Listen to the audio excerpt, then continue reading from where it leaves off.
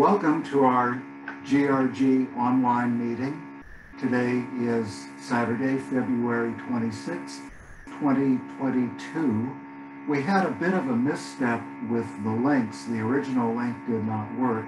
So I sent out a new one and we have one, two, three, four, five, six, seven, eight, 10, 10 of us all together. So that's um, probably about the usual um, number of people who join. Actually, we usually have uh, 12, 14, sometimes 18 or so, but uh, hopefully everyone has found their way here to the correct link. I'm going to first share my screen and take a look at our agenda.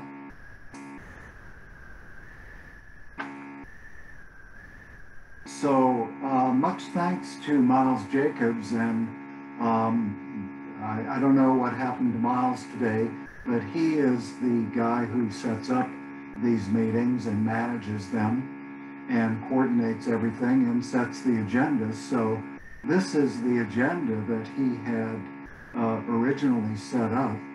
And we were, just before beginning the, the, the recording, talking about item one. And um, Akshay was uh, saying Akshay knows a good deal about this and it looks very exciting. So I will now, oops, admit, admit John Kramer. Hello, John. Um, the meeting is being recorded and I'll now shift over to the paper. And um, uh, Akshay, thank you for allowing the interruption. If you'd maybe in one or two sentences briefly recap what you've said. And uh, please proceed. You, you know a lot about this. That's great. Yes, I was saying that uh, this paper by Professor Samuel Beck and his team is one of my favorites this year. Uh, it's it's showing it's throwing light on a part of uh, cellular changes that we have not been follow, researching so much. Like we have seen a lot of research on methylation and the silencing of genes that are beneficial to us. But uh, what Samuel Beck has also discovered is, uh, uh, you know, uh, uh, a part of, uh, I mean, the genes where uh, you know, CPG islands are lacking, and there is activation of genes which are supposed to remain silent. So, you know, uh, in our uh, cell, most of the genes would be permanently silenced to create a cell identity. And uh, as we age, uh, apparently many of those genes, which are supposed to remain silent, are being activated. And uh, that would at some point lead in loss of cellular identity and uh, you know uh, disease. So uh, this was a very interesting finding. And then based on these findings one could look at uh, you know tar- targeted therapeutics that could try to remedy that.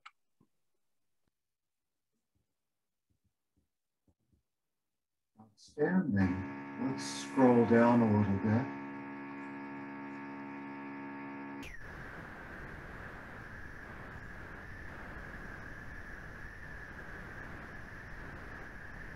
And scroll down to the end and see what conclusions they may have.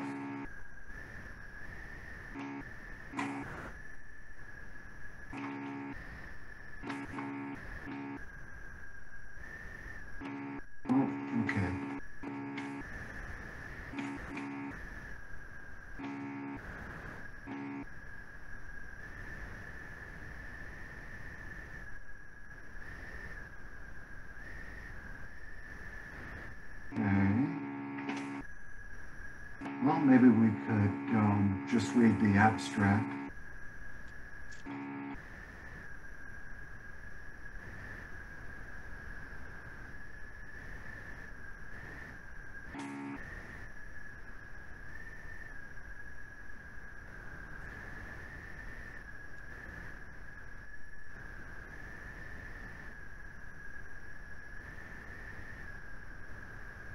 expression of these young CGI gene this expression.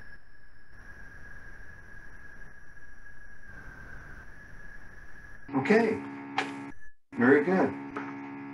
Um, does anyone have any more comments or questions about this paper before we move on to the next? Okay, guess not. Let's look again at the second, aging caused by methylation of um, euchromatin starting after puberty and possible reversal with Jumonji D3. Okay, so let's go to that. Uh, hey, Johnny. Yeah. Actually, I thought I was interested in the paper earlier. I didn't realize my uh, sound was turned off. Oh, okay. So we'll go back to it. I want to take Go a look a little bit. Okay, go ahead.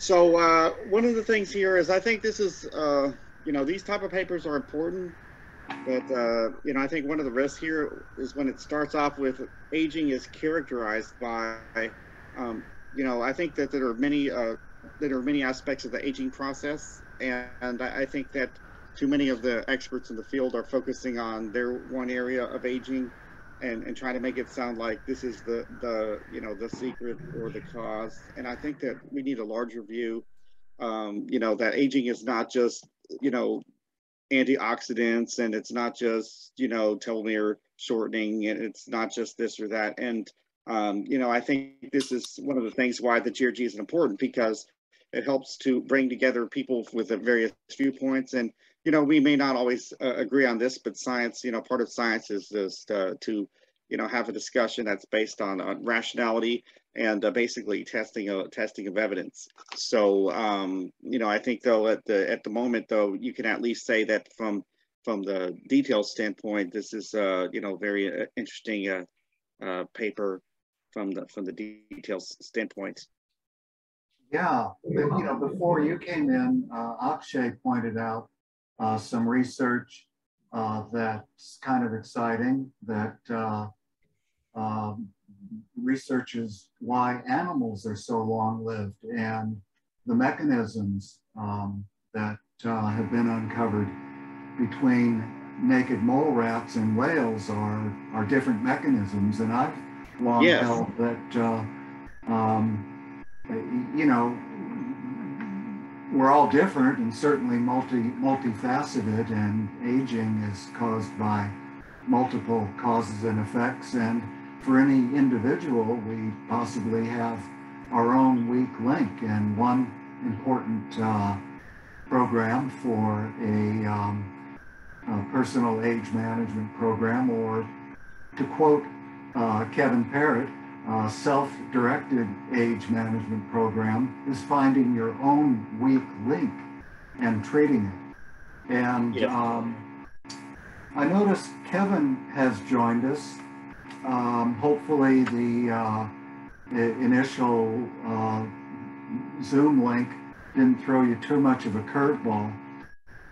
And I noticed that uh, also Vincenzo is here. I I noticed that Miles had, had had you down as the number three speaker, but I, I'm just going to suggest that um, uh, since your time is uh, very, very in short supply, that you may want to give your talk now or say whatever it is you had to say. And I'm, I'm all for creating a real time machine with me. I want more time. Um, so if you can show us how to do that, uh, do you, do you want to go next or do you want to wait until Uh, we've, uh, if you want, I mean, we can, we, basically my, uh, everything that I would have to say, and, uh, and I'm gonna let uh, Vincenzo sort of maybe walk through some of the latest things first for the, uh, how we can help ourselves, uh, the, the platform kind of thing. And similar to, every, we- we've been talking, you and I, for golly, God, 10 years at least. Um, yeah, about some of the same things we're going to talk about right today, and they still are the main issue. Um, for me, the science is there to be discovered. You know, it, it's not, we're, we're not faced the most with the most technical problems to find out why bodies age. We have tools, we have lots of things that we can actually use. The main problem is working together uh, in pulling in the same direction. And as uh, somebody was saying here just a few minutes ago, um, everybody we can we can argue about what is the uh, you know the, the real thing, and uh, everybody's interest has their particular passions, a particular take on aging.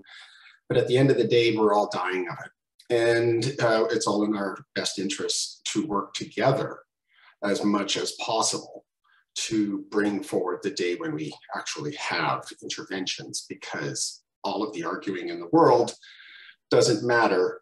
Um, yeah, so I've been doing this for 20 years at least, and uh, you know I'm getting a little tired of waiting for people to wake up and work together. Uh, there's still a lot of people all just uh, push pulling apart. So how do we create a time machine, a mechanism by which we can transfer the energy and the suffering of individuals into the products and services that they need to uh, maintain or restore their health?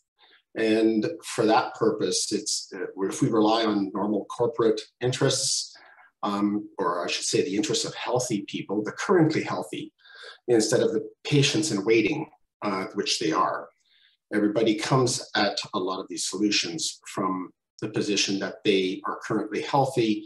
They don't have the same sense of urgency of the people who are actually suffering uh, today, and they forget that they will be suffering from these things tomorrow. So it's it's really behooves us all to. I'm a cancer survivor. If you know, so I'm I'm always speaking from the position of somebody who has a terminal and knows what it's like to have a terminal illness uh, and a terminal diagnosis. Um, there's no illusion for me that I have it tomorrow or that I have it next week. This is like uh, uh, this is not a test drive. Um, so if we can, um, I'm going to let. So so we decided to speed up the whole intervention development cycle. It's not just simply one intervention or one idea. Uh, like rapamycin in 2008 was, you know, suggested that it might be helpful for humans in human aging, and yet it still has not been properly tested in, in a pharmaceutical trial. Uh, Ageless RX is a company that's doing that. Um, but years and years and years can go by without basic uh, interventions, which are already on the table, being properly tested and then using the results from those tests to inform better the next better intervention. So we need to create a, a, a system that can test millions of hypotheses in parallel and uh, propose interventions and have those, those ideas tested. And the best, my goal would be to create an in silico version of human health that could be, you could actually test human interventions without actually having to test in live humans because humans are terrible for vivarium subjects. Uh, they don't listen. Um, so how do we, how do we create a, a systems biology driven version of human health? And you have to do that with data. And right now there is not enough data. Uh, and so that's why uh, I created Open Cures was to help individuals measuring their own health pool their data in a scientifically accurate way so that we can fill in the gaps and backfill in uh, some of the missing pieces that the NIH has left and that public health has left. And that most scientists don't even talk the same language. They don't talk the same units. The United States still uses the imperial system. You know, it's just absolutely insane. And we expect to have science pr producing interventions in aging when we can't even agree on what units to actually use.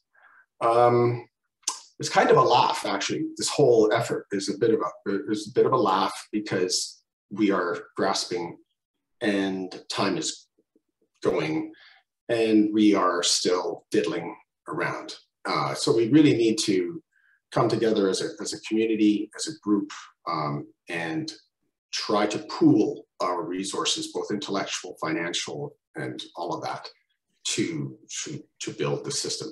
So with that, I'll just let Vincenzo maybe talk about the latest version of our uh, system, which uh, is coming along nicely to capture that data that we're all generating in our own lives. And how do we then focus the value of that data that we're capturing on the research problems that we collectively think are important.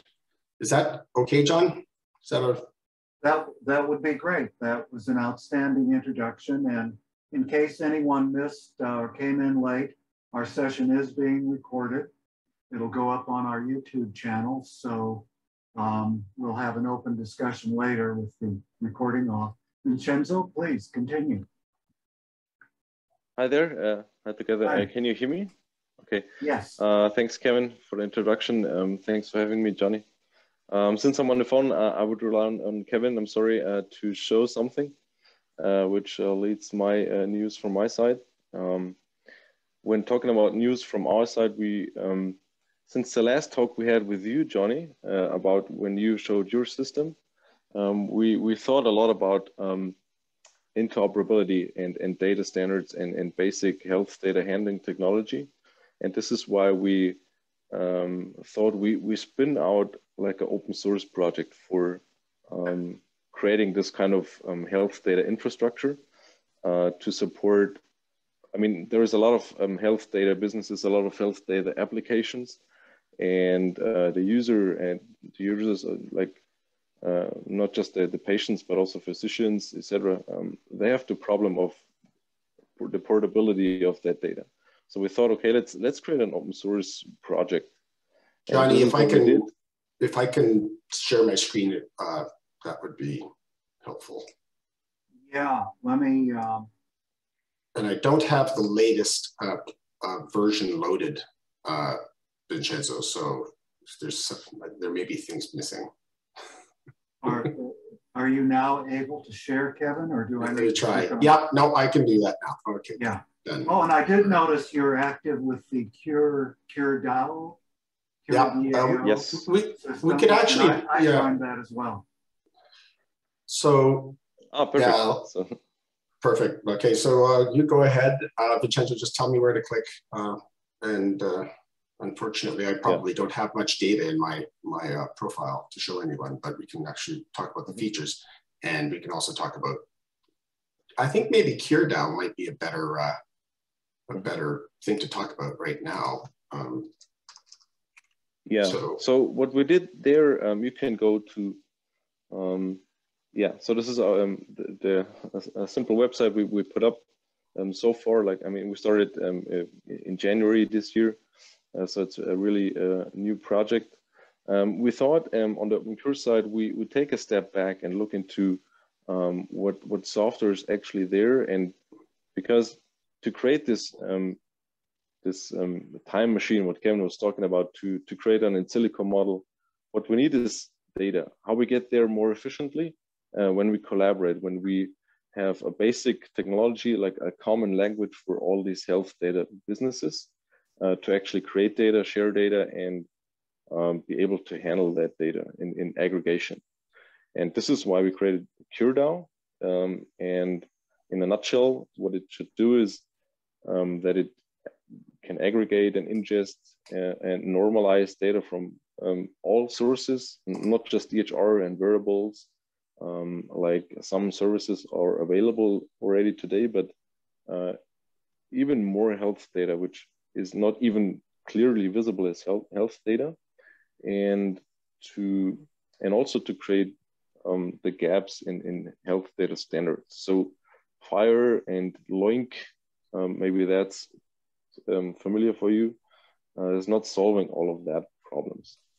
And to aggregate all of that health data, uh, to present like a storage a storage solution for health data in um, and, and in an open source format, which um, everybody can spin up an instance of easily, and then an API where you can query data sets for data analysis. So mainly for the purpose of data analysis. And all of that in an open source infrastructure, which is open source, and anybody can run an instance for himself to have the data privacy. But all of that is handled in, in a data format, which is then shareable and uh, can create interoperability.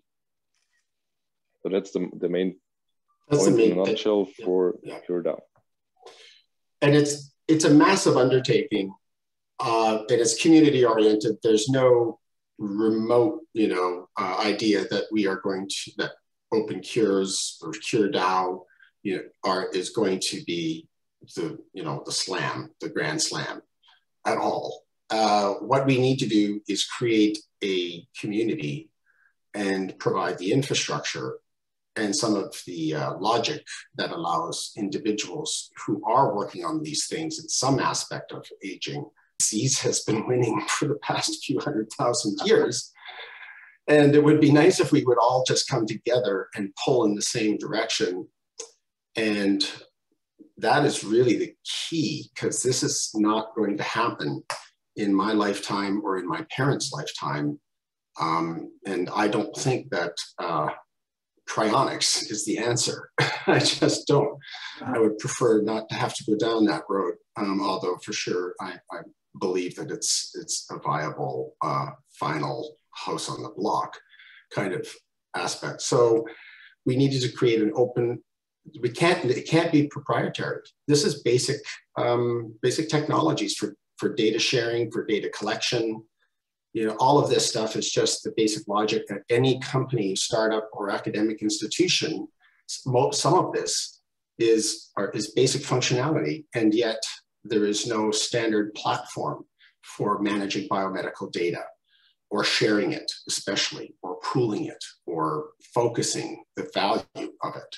And every time somebody has a company, they have to rebuild or, or not all of this infrastructure. It's like having to develop your own you know basic calculator that does plus minus divide and subtract for even for any question that you may need to ask from a biological standpoint. If we're going to build a systems biology driven model of human biochemistry and health in in silico that we can then use to test multiple or millions of hypotheses in parallel we're going to need to have this basic in, infrastructure in place. And there's just we just can't it's just not going to be done in the shortest period of time. It's not that it can't be done it's just the, before the heat death of the universe or you know within the lifetimes of people today.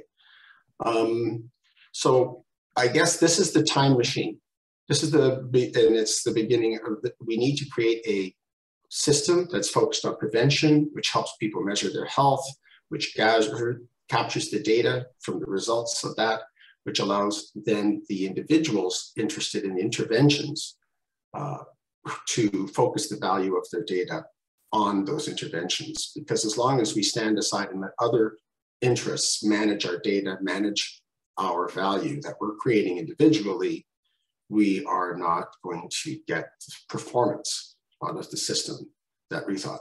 Okay, I'm, uh, well, I'm. Kevin Vincenzo, our um, new about to be released age management telehealth physicians will certainly be gathering some data and we intend to have it interoperable with this system. Could you tell me just a little bit more?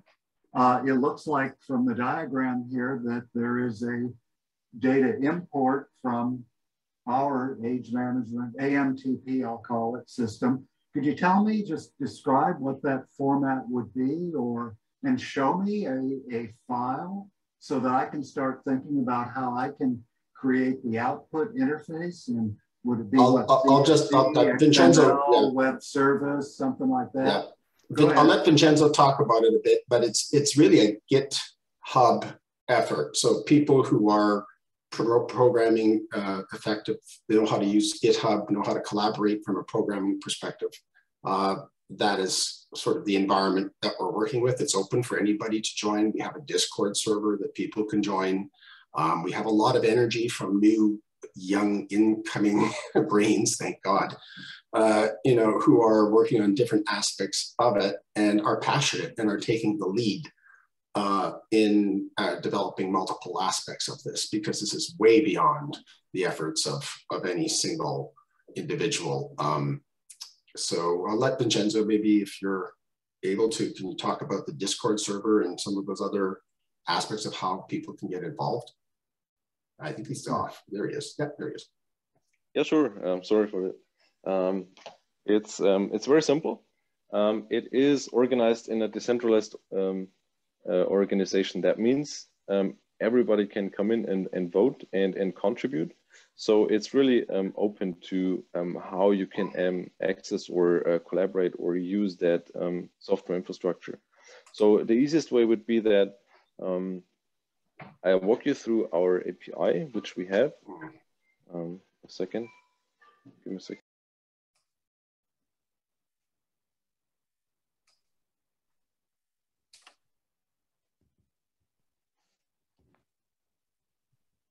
Sorry for that. Um, so that you actually, what, what you would have to do is that um, this data, data format which we have created for our storage solution, um, that you create um, a, a, data mapping function in the end. And, and that would give you um, the interoperability with that software system. So this is actually what we do with all these um, plugins for um, that data format, which we have created there um, that it transforms and, and normalizes the data into that. Um, a, a, simple mapping um, function is not the problem, um, but the, the, the real, the, the, value, the functionality of the software framework is um, that the data will be um, validated against the references available with that software. Actually.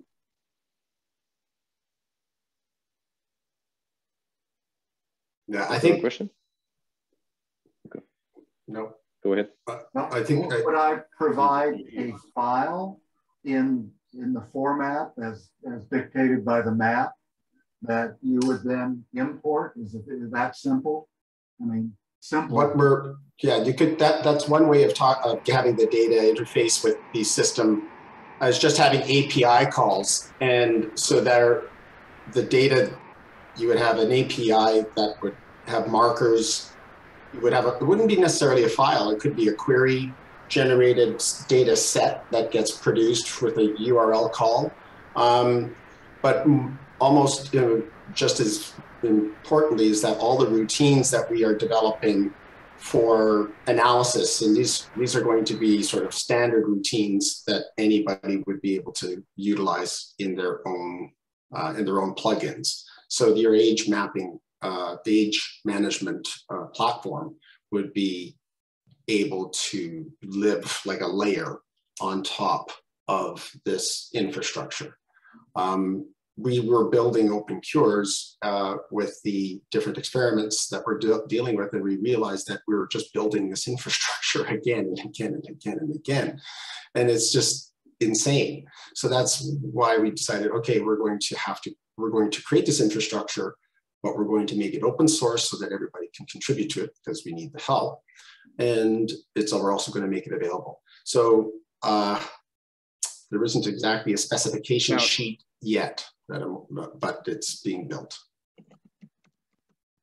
Actually, there is, and you can um, go to docs.cura.org and uh, there is a documentation for that. Is it under the white paper? Uh, yes. Okay, so it's still so very fresh, very new. A lot of documentation um, in the works. Yeah, um, very but, new. Uh, this is where it's where it's going. Ah, here we go. Yeah, so yeah. we've got so, API. Yeah, good stuff.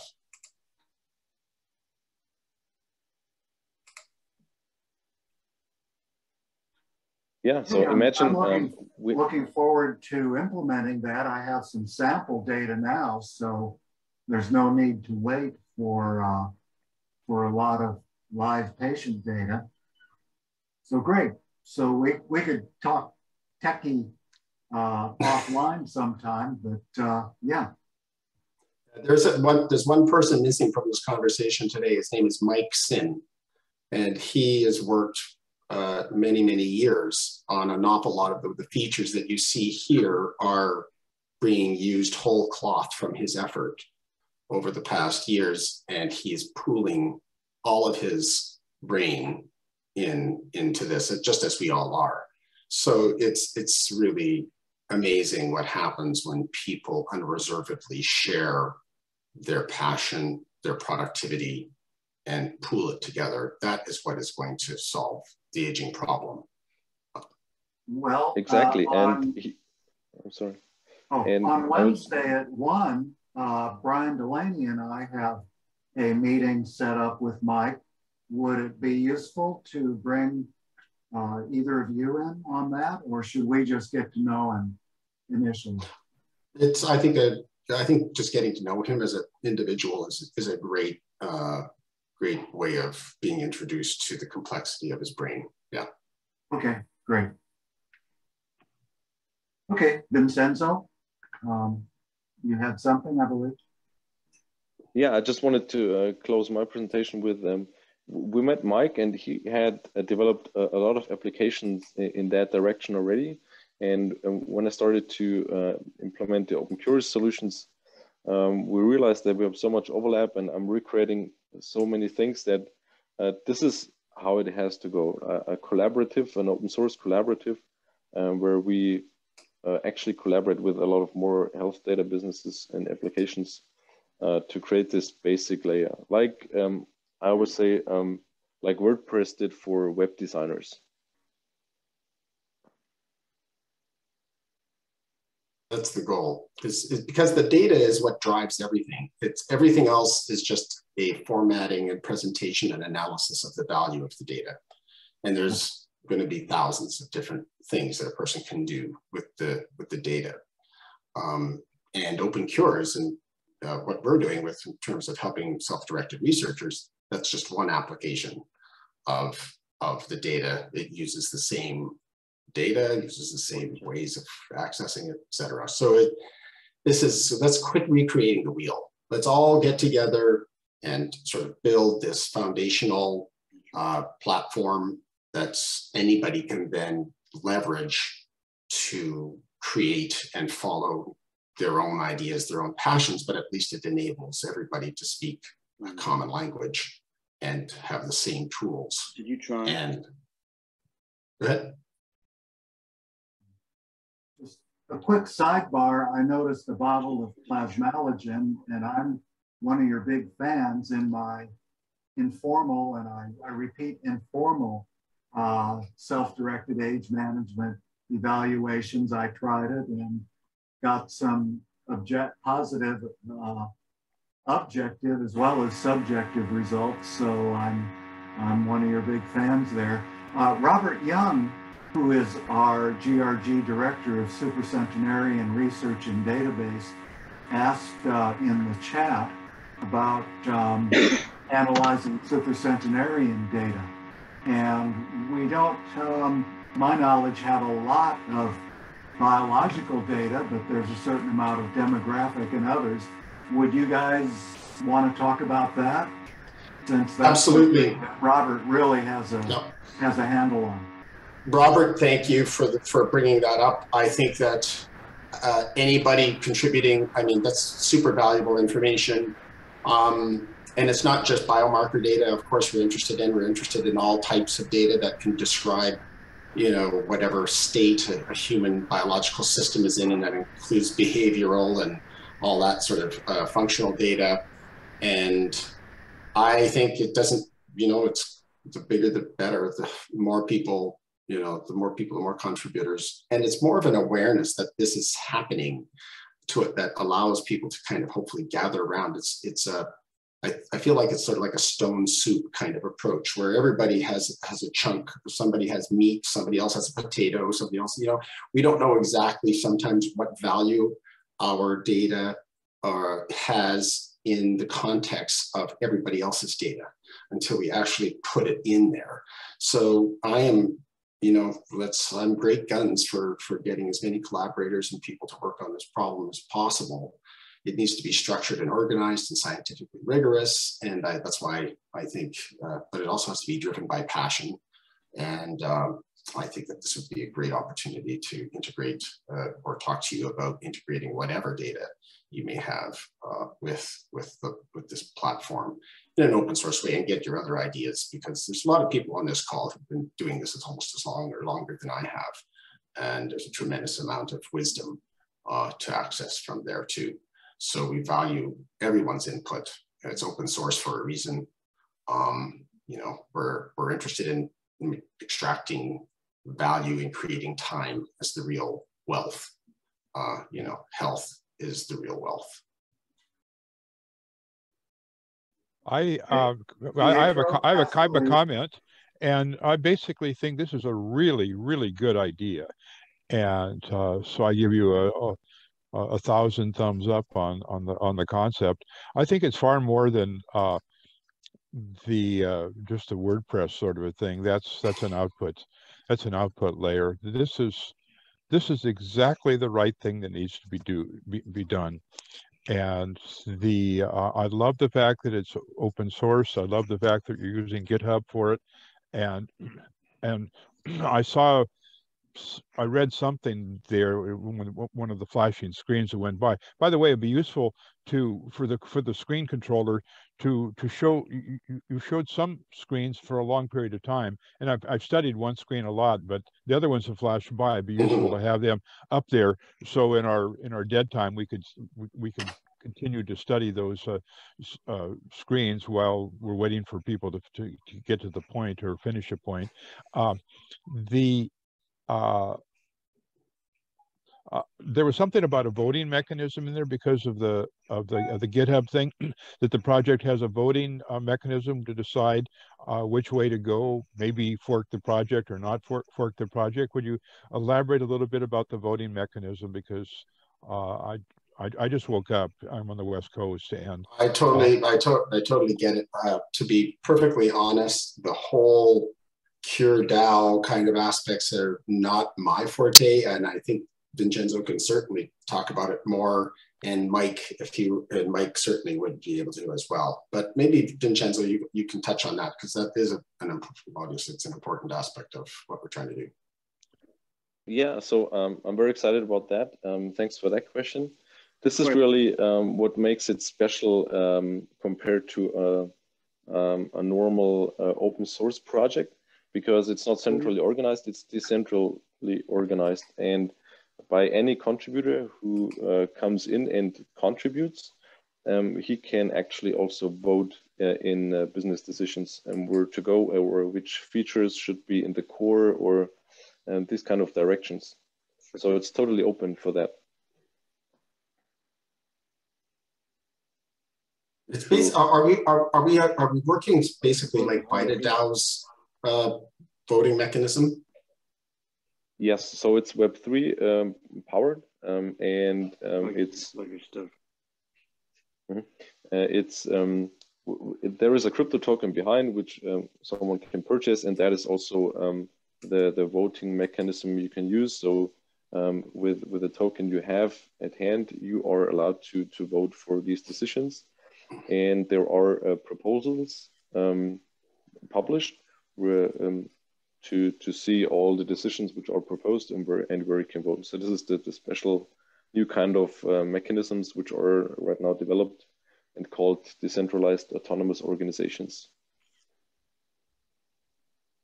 The, we're, we're following VitaDAO's uh, method right now, but there is a, obviously a bunch of different ways that uh, people can be either incentivized or rewarded. Um, and uh, I am certainly not wedded to a particular uh, way. I'm agnostic. Uh, for me, it's about minimizing time to the development of interventions and whatever mechanism thereof to do that is is. Uh, but we're going with with something which is has been proven to be somewhat successful. I'm pretty sure that there's going to be a bunch of different uh, reasons why we would want to try different variations on a theme or completely different ways of doing it. Um, and again, it's going to be a community effort. Uh, we can start things, uh, but it's going to take everybody, you know, pulling in the same direction with their ideas. Uh, and it's going to be an iterative, self-adjusting uh, system so that as we go forward, if we're not making that much progress with one particular uh, method, that will show up and we will have to, we will pivot or we will change uh, our trajectories in order to, to deal with whatever it is that's slowing us down. So we need, we need to really just uh, uh, find the best mechanism for transducing the energy within the suffering of individuals into the development of their own cures. And this is the tokenization uh, strategy done with VitaDAO is, is probably the best. Uh, example of, of that right at the moment. I, I have another question. Um, the uh, uh, I'll have to read about the uh, the Open DAO uh, mechanism, uh, but I guess my my my thought is is that um, in the world there's more than one organism. Uh, there's people and there's lions and tigers and sheep and bacteria and you know things, yep.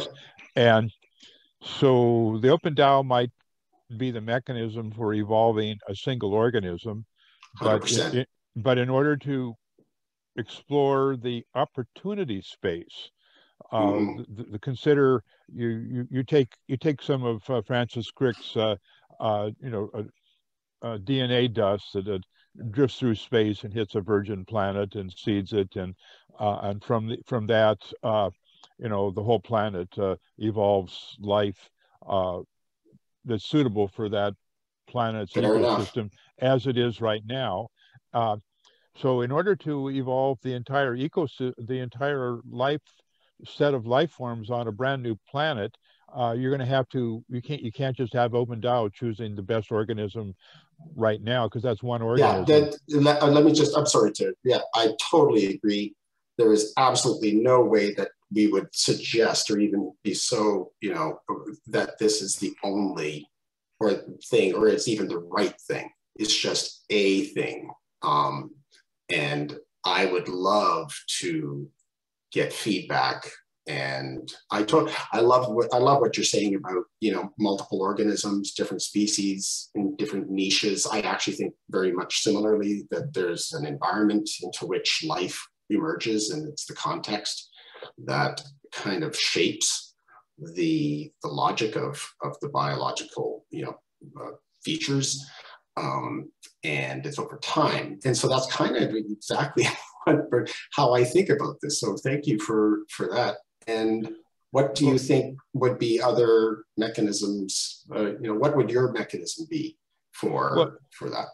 Well uh, well again uh, uh, this is early morning for me and i'm uh, minimally caffeinated and inadequately caffeinated. So, but but in general, what I think is that, uh, well, I'm I'm just going back to the thing here. Uh, isn't the central concept of systems biology the notion of networks of networks? Yep. Yep. And and if that's the case, then uh, oh, and, and really, uh, cyberspace is I'm just going to assert uh, cyberspace is is is of in, infinite size. It's just information. So uh, with computing and uh, you can buy a terabyte of disk now for you know a hundred bucks, and and so uh, cyberspace is essentially free, almost free, and and certainly infinite, and so the the imagination is your is your limit. And if, if you take the systems biology model, uh, you're going for infinity. And so notionally then you're going to want to set these systems up and not do just systems, not do just your project open cures for humans, but also fish and dogs and cats and everything else. And the uh, the model needs to be generalized. And so ultimately then this the open cures model for human beings and aging is just a subset of uh, the open oh. the generalization mm-hmm. of the open mm-hmm. cures model for all life forms we know on earth uh, and and that also leaves the notion of i think it of, captures that yeah. Uh, mm-hmm. of, synthet- of synthetic biology uh, because there's a whole notion of the, the synthetic life uh, you know in, in in the there's a whole a whole field of synthetic life. So I think that's the way the way you go, and which raises the and now this needs a lot of help. And I see you've got about 50 or 73 people uh, signed up so far, some small number, less than 100, and so you need to start. Uh, well, we need to we need to start pulling people into the system and uh, and getting it going and Absolutely. we really we really need societal funding for this because mm-hmm. this is mm-hmm. for the good of all mankind uh, not 100%. just not just a bunch of uh, old old guys uh, who are worried about running out of time Yeah, I'm definitely worried about running out of health more than I am about running out of time. I think yeah. that your point, your point, your point on the generalization uh, capacity of generalization of the platform is is is actually uh, working in a lab with a bad lab book management situation that really brought to my attention that all data, all research that is currently being captured is really not organized properly in a central facility, despite you know public money being used to generate all this information that is not really usable by anybody. And so I do believe that we have a generalizable uh, system for myself. I'm about minimizing time to the development of therapies for my parents. Uh, my dad is 80, my mom is 77. Um, I don't know if we, I, I want to start with human relevant uh, data and work our way down where necessary. Uh, and then not not start with the the worms, flies, and mice and stuff, and work our way up. Um, well, because I, been, yeah, I, I, agree with that, but I think those people should be invited to contribute as well. And I think you're. I think that's a great point, and not one that I think we've talked about too much. Uh, and I think we should definitely integrate that into into the conversation. Thank you for okay, that. every everyone, we're we're about an hour and 15 minutes into our meeting time. Oh my goodness. I see yeah. most of uh, the members are still here. I'm just going to suggest, um, I mean, I really appreciate that you've talked about Open DAO and um, I'm looking forward to participating. I'm going to suggest though that, that Kevin and Vincenzo take just a few minutes, maybe three, three to five minutes to talk about open cures if you want to. And then I, I see Miles has joined us and he's the resident expert on uh, topics one or two that we had on our, on our agenda today. So hopefully he'll educate us a little bit about those. So would, would you like to tell us a little bit more? Kevin, can I find your, your email or contact information open, to talk uh, more? Excuse me, we can't, we can't both talk at the same time. Um, so I'll be, I'll try to be brief, but I got to finish. So uh, Kevin Vincenzo, do you uh, want to talk about open cures very briefly before we move on? And uh, John, I believe you had something important to say. Oh, just that it's, it's Kevin. Is your information available? I think I, I, when I wake when I wake up, I have more questions and, and comments. So I like to communicate with you. So just look look for your email or something something. I I can be found if you could write to GRG, but uh, yeah.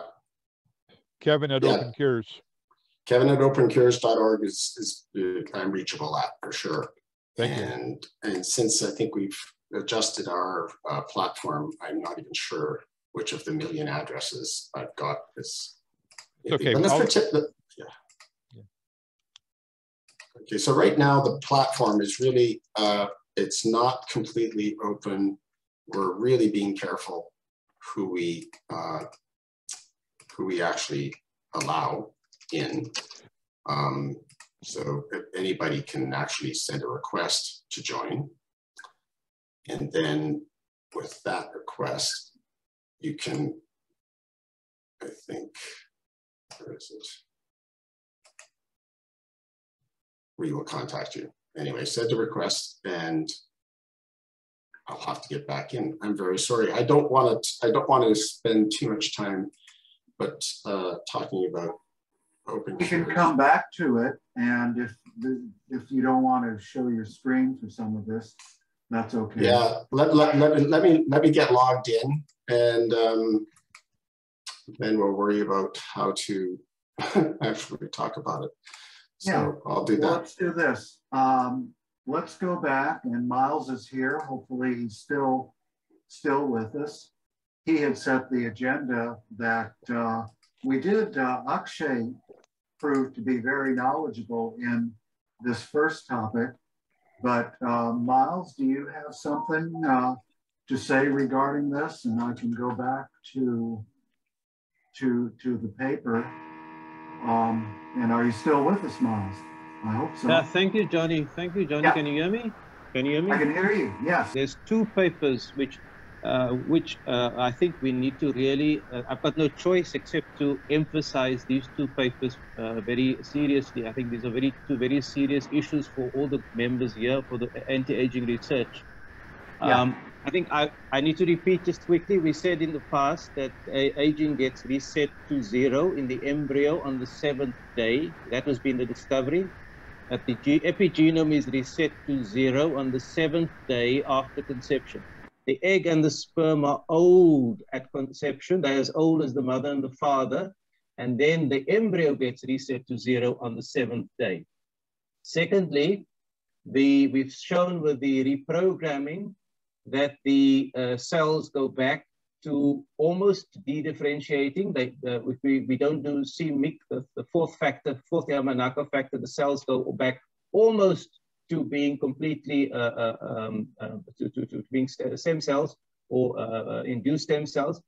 and then they re-differentiate.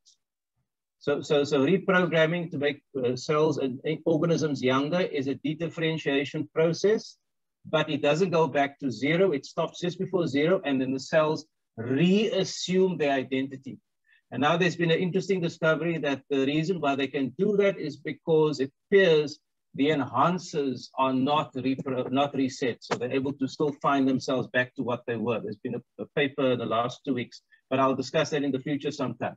These other two papers are also critical because it shows uh, and I think we can argue about this, and I'm, I'm very happy people do, but it shows that aging, there's two processes in aging which nobody's been paying attention to, and that is the breakdown of the packed genes, the genes that are packed away, the heterochromatin, and then also the shutting off of the genes that are active, the euchromatin. Uh, these two processes have been discovered and one has to be, you have to be aware of these two processes because they are macro, they're happening in all the cells. And then the last point I'm going to make is that unfortunately, the second, uh, uh, uh, such, the second process of the cells being shut off indicates definitely that there is some sort of a death program which starts at puberty. At puberty, we can clearly see the heat shock response gets switched off. The clearing of the methylation of the, of the active DNA gets shut off, which means that there is a slow decline in the number of active genes. And both these processes being shut off occurs at puberty.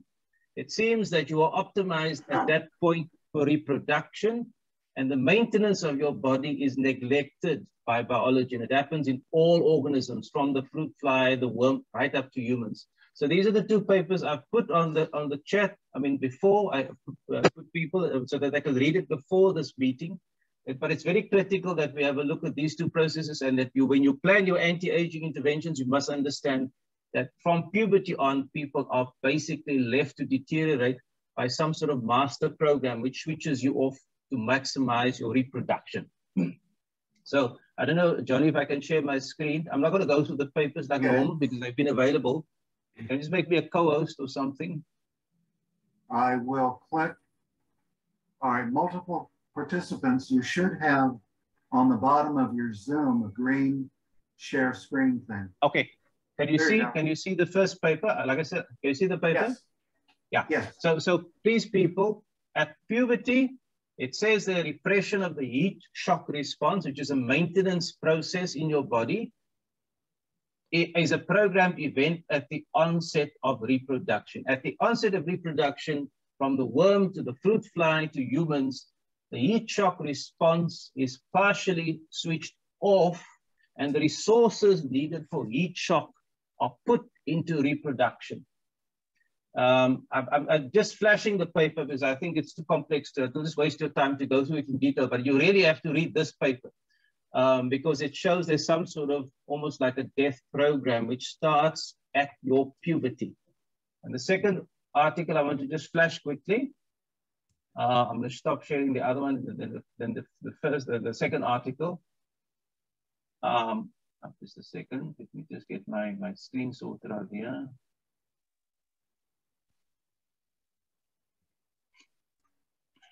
Um, let's see. I don't, you see, I'm looking for the second. I'm gonna Um, right. Should just get me give me a second when I flash the second screen. There we go. Right. The, the, the second program says that the genes that are on, the genes in the euchromatin, the genes that are on in the euchromatin, they get methylated as you age, so they get switched off. And again, there was a process, Jumonji D3 protein normally demethylates this uh, uh, un, unwelcome methylation, but that process gets switched off again at puberty. So then you find that your the, the genes, the wrong in the wrong cell. The net result of this is that in a heart cell, you find that genes that are supposed to be active in a liver are being switched on in the heart, and genes that are supposed to be off in the heart, sorry, they're supposed to, be, uh, yeah, they're supposed to be off in the heart are being switched on. So there's a, and this is what they call the secretory or, or senescence, senescence uh, associated secretory product, uh, which is then the result of sort of uh, a, a, a, almost like a, cocktail of, of, of, incorrect molecules in the wrong cells. So I'm just, I'm just emphasizing these two processes. They're fundamental to aging. I can't see you um, ignoring them in your research. You've got to solve these two problems. Um, there are some ideas, but but but uh, uh, you have to make uh, pay attention to this. So that's my my my contribution, Johnny. As I said, I've listed the papers. Please read them several times because they're fascinating, absolutely fascinating, and very critical for us to understand what aging is. Thank you very much. Well, what, uh, Miles, would senolytics help with this problem? Does this uh, actually, let me back into it, does this problem increase as we age? Yes, it does, Johnny. Um, senolytics does help, but fundamentally we have to find a way to get the genes switched on again when they are switched off, and then vice versa. Those genes that are being switched on and then they should not be switched on. Um, in the case of the, the first process of genes starting to be switched on, at the results, it's a result of the loss of what they call the HP1 protein, which keeps the genes locked up effectively. And as a result, also another protein, lamin A, in the nuclear envelope. So as a result, because the genes are no longer locked, they start to fray and become available for transcription, and, and the wrong uh, proteins are now being produced. The same thing with the uh, with the genes that are being switched off that should be on. If you can put the Jumonji protein in there and somehow start it up again, then you'd be able to clear the methylation and, and switch the genes on again. So this is a process which you will have to do in your stem cells, in the stem cells themselves. And it's not a good idea, I think, to get rid of the stem cells. So we find some, before we apply senolytics to the stem cells, find some way to make sure that the genes that are supposed to be off are, are kept off and the genes that are supposed to be on are kept on. Thank you. Now, I, I would expect that this, or you tell me, that this might be variable. It might be different genes uh, for different people. Is that correct? Correct, correct, correct. But, All but right. The, the well, then then we'd need a way to analyze which genes there are lacking the CPG islands, but we do have DNA methylation testing that you know most of us would just get get the age, but there is uh, a file available. Typically, I know Zymo Research. I'm sure uh, Clock Foundation would have a file available to tell you which genes are screwed up. Is that a true statement? Do you think? Yes, I, I, believe so. I believe it's it's different for different individuals because the genes are susceptible to different types of, of methylation and, and, and fragmentation. Okay. Um, but I'm still saying that unfortunately, it, it's, a, it's something that's marching on for everybody. Although it, yeah, there will be differences individual to individual. Well, that's great. Well, so looks like we've knocked maybe 20 years off our development time of personalized therapies to fix my gene, particular uh, genes, your your particular CPG islands, I, I should say. Um, so then that leaves us with uh, roughly the, the same question of how to deliver, you know, gene therapy or other otherwise stimulate genes to work. So okay, fantastic. I can say, um, any, Johnny, any the... other uh, comments? I, I, see Kevin had a comment, but Kevin, uh, are we done with this topic? Do you want to jump back to uh, Kevin's presentation? I have I some can... further uh, comments on the two papers. Okay, go ahead. Yeah, so uh, Miles, the, uh, you are absolutely right. Both the papers are happen to be my favorites. Uh, they are very, very enlightening. Uh, on the first one that you showed us, you know, for, of Professor Morimoto, uh, where, uh, you know, just a few days in the worms, just a few days after puberty, uh, you know, the heat shock protein response was dialed down. Basically, what where it is happening is in the ubiquitin proteasome system, which is the system where a pro protein production is there. And protein production uh, is an intense process which requires uh, chaperones to uh, ensure that it goes through smoothly. Heat shock proteins uh, are uh, one of those chaperones. And, uh, you know, what happens is that the efficiency of those chaperones coming on being triggered uh, uh, against the stress during protein production actually goes down by almost 70% as, as discovered by uh, Morimoto and Labbadia, which is why we end up getting misfolded proteins uh, because uh, one of the jobs of the chaperones is to refold, for example, the misfolded proteins. And uh, which which uh, which accumulates over time you know as aggregates and then causes various diseases including neurodegenerative diseases. I want to uh, uh just share one uh, snippet of what i discovered during my research. Oleuropein which we get from olive leaf extract has been shown to upregulate those chaperones so uh, each one can, uh, you know, uh, research on their own, or I can share it. But uh, olive leaf extract, uh, it's a natural extract from olive leaves, uh, and oleuropein is the extract. And if one takes in, in fact, one should take in just after puberty. One should start taking that daily. you know, it, to some extent, it will blunt this uh, damage that happens to our protein production.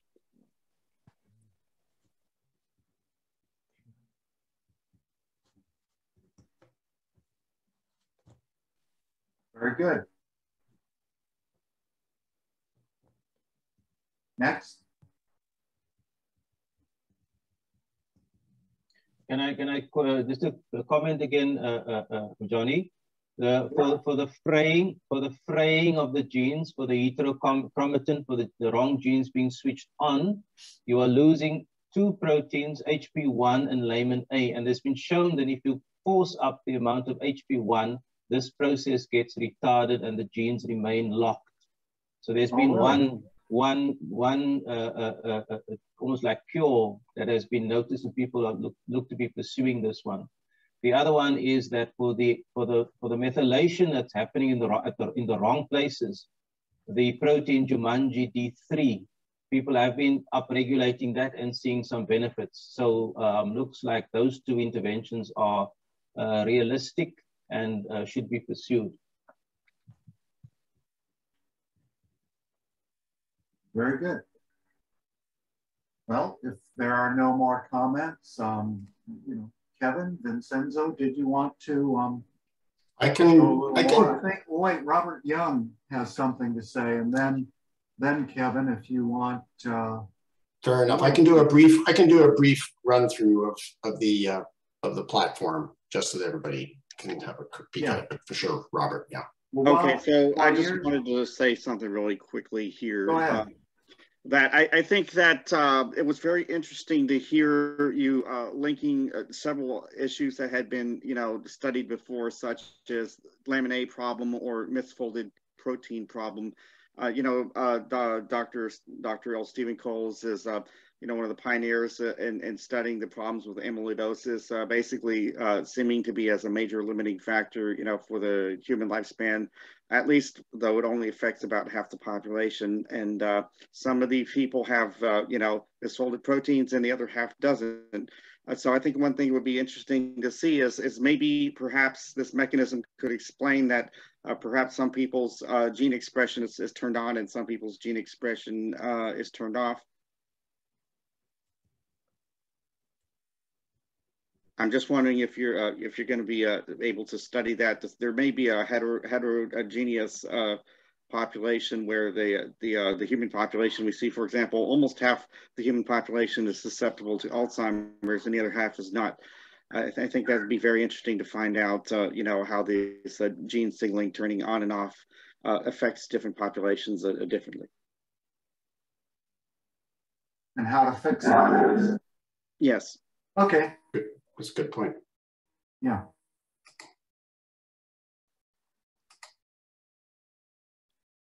Okay, and uh, let's see, Kevin, were you going to show your screen and, and get yep. into OpenCures again, or? Yep, yep, yep. Yeah, yeah. So, so basically, we've been changing things uh, rather frequently, and uh, yeah, uh, Vincenzo is an incredibly prolific and productive programmer, uh, but the, the change doesn't leave those of us to follow follow the. You get used to something, and then suddenly there's a whole bunch of new features that you have to think about. But uh, but it's it, but it's very very good. So basically, after you uh, sign in and you create a profile, you are presented with uh, a, a, subset of there, there's an administrative dashboard for for organizations helping people manage. Basically, you have this dashboard. There's this biological age, these kinds of cards, which are uh, you can choose the default layout that you're interested in um, I, I, don't know if anybody has actually been looking at the Whoop band or the various other devices that are available, but um, I'm actually participating in a clinical trial now through the Buck Institute, and one of the devices that they're actually uh, requiring us to wear is this Whoop band, which I have been wearing for about two weeks now. And it provides things like strain score, excuse me, and recovery score and other, other, other scores um, but it just kind of tells you that things are rapidly uh, coming together with these wearable devices and other, if we can measure, uh, match them up with other biomarker measurements from your blood, uh, then you can start to look at uh, patterns within them. So you can set this up yourself. There's your general profile, which of course is the same kind of things that you have to, you know, you, you generally track all the demographic types of information basic, and then there's different settings. You can belong to various groups, you can create your own groups, and you also have uh, a biobank of your samples, so which you will control. So um, I've got, I've taken my blood probably 15 times, and each time there's extra. So I've been biobanking and creating an archive of my own self over the past two years and every and everybody who actually gets their uh, blood analyzed uh, does an assay has that capability of putting a little of themselves on ice so that we can go back to do that. And um, so this this uh, unfortunately this uh, profile is pretty empty. I can't show you much more than that um, than the options that currently exist. But one of the things that i'm just playing around with is uh, Vincenzo worked an awful lot on importing data because a lot of people have pre-existing PDF reports of various things.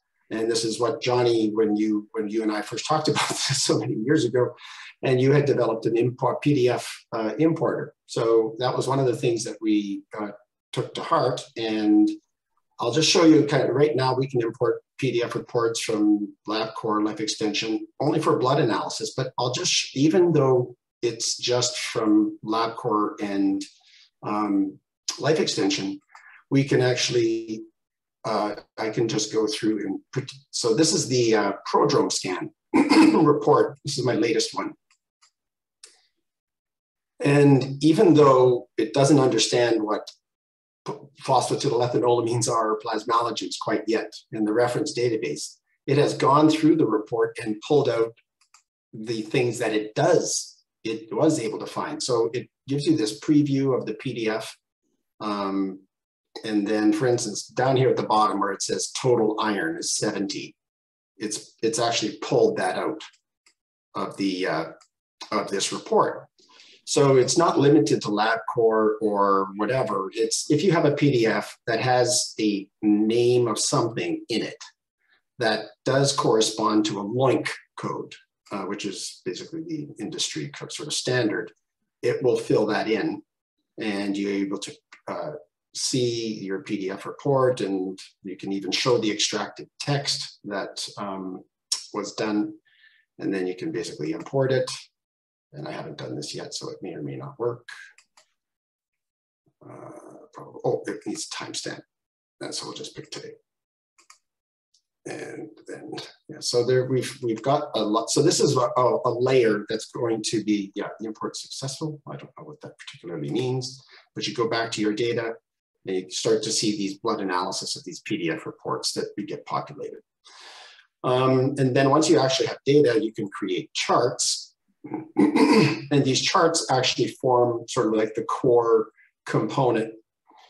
Uh, so once you describe a chart, it basically you can then pop, there's a title description, chart settings, um, you can put it in your dashboard, and here's where you pick the biomarkers that you want to actually measure. So if it was, there's activity, there's there's a gazillion things, frankly. It's just overwhelming. Um, but probably the most important thing is that together everybody can actually, uh, once you've measured your data or you've imported your data, let's say you want to share your data with other people, well, you can create an experiment in, in, within which you and other individuals here, this one has actually two. So we're, we're really at the very, very beginning. Um, but for instance, the Pearl uh, Ageless RX, who we are working with uh, for the rapamycin trial that they've actually uh, started finally uh, 13, 14 years later. Um, so we're actually working on uh, helping them recruit, measure, identify assays. So anybody who is interested in creating a group of individuals who are measuring their health in a similar fashion, um, you know, you can create a group on this on, on the platform, and then you can join the permission, and then there's we still got to think about all the permissions and uh, everything is GDPR, HIPAA, all of this regulatory stuff, which is frankly uh, a lot of friction between people who are already interested in sharing data with each other. But um, this is why it's a limited availability, why you have to request access right now. It's not just any come one, come all. You know, we want to vet and validate uh, whoever uses this platform to make sure that they are interested and capable of, of being disciplined enough to actually uh, work with it. Anyway, so the, as you can see, there's a ton of different things that we can do. Uh, the biomarkers that we track is here, so you can actually see, you know, which are the biomarkers we track that are nutritional. Um, there's sleep, physical activity, all of these can be expanded, and these are all of the types of biomarkers that are available for you to track yourself, and they're increasing. And, um, you know, so it really is, we need to create a generic tool that can handle almost the high resolution uh, experiment to the, you know, stripped down, all I'm doing is taking a supplement once a day kind of experiment. So it's, it's, uh, it's a big job. Uh, look forward to getting people's feedback. Hopefully, uh, as we go forward, uh, we'll get more uh, of you, you know, implementing your own ideas, your own passions, because without the content, just like any other website, without content, it's just a framework that nobody ever uses. This is meant to be used. And uh, it's a very difficult, uh, me, this is not for mainstream, obviously. We're not gonna make a million dollars on this, uh, but we could potentially create the first calculator, the very first calculator for biomedical data storage with just that basic functionality and uh, again, on that layer of CureDAO uh, in the open source functionality on this, on which this relies. So I'll uh, just leave it there. There's always lots more to say, but I appreciate that there's other people who have other things to say too. Thank you. Outstanding. Thank you. how do we get two of these great uh, presentations uh, in the same presentation? uh, how to break people? Okay, yeah.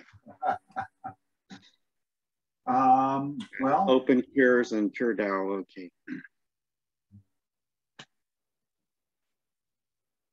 Well, okay. Um, we'll move on to the open discussion part and a little later we'll um, turn off the recording, but in, what else you want to talk about? Anybody? I have to. I actually have to step away. I got to start late start, and I, pre- I appreciate the opportunity, Johnny, to to talk. And thanks, Miles, for the uh, invitation. And uh, I always, I'm, I'm always thirsty for this kind of discussion on on uh, you know the mechanisms, the heat shock protein uh, response. That was something that blew me away. Frankly, that this was sort of something that was set up so early. Uh, reminded me of the involution of the thymus almost. You know, it's just like there's these events which occur, which seem to be designed to ensure the deterioration of the organism. And I'm not really, really thrilled with that. One thing that I've always thought about is, um, well, when my eyes started to go, um, you know, my, and I couldn't see fine print anymore, and I was stuck in San Francisco with a flat tire in the middle of the night and I'm trying to read the instructions from the owner's manual on how to get the fucking jack out from underneath my truck because it was one of those origami kind of things that you have to fold and jam and insert and and, and I couldn't read the instructions in this in my owner's manual and I, without my glasses. And I thought boy this is a really good way of nature ensuring that you die you know at age 38 or 39 because if I was in a real environment with the inability to tell the difference between the toxic plant and the other not and, and non-toxic plant, I would be liable to just jam something in my mouth and eat it and not care whether or not it killed me. So for me, it was just that was a, like the requirement for reading glasses and this uh, crystalline protein aggregation and the hardening of the lens um, almost seemed to me like a slap in the face. Like here, here, here's another thing for you to have to deal with. So the heat, and this comes to the heat shock protein kind of question a little bit, the, ability to deal with cross linkages and stiffening of, uh, you know, proteins and glycination and all of this stuff. So I don't know if I, if I still believe that there's an actual program that's been set up, but I think that there's been some things which I are neglectful and potentially directly uh, bad. Like uh, maybe that why that's it's a very fascinating thing that the CPG islands and that the heat shock protein response is turned off so early, and and that that does make a difference. And I couldn't think of an evolutionary viable reason for why it should do that. So it is kind of interesting. And I got it, uh, and I'll take off now uh, as well. Robert, it was a pleasure seeing you and hearing you. Great to see you, Kevin. Say Real glad the wolves and the tigers didn't get you while you were distracted trying to read all that. I know. That's what I would do. It just really, really was a guaranteed uh, uh, exit uh, uh, earlier than you would like. So anyway, everybody have a great, great day, great weekend. Thanks a lot. And I'll, I'll leave, I'll leave you here yeah. now. Bye for now. Much thanks. Well, anything else? I'm going to go ahead and turn off the recording.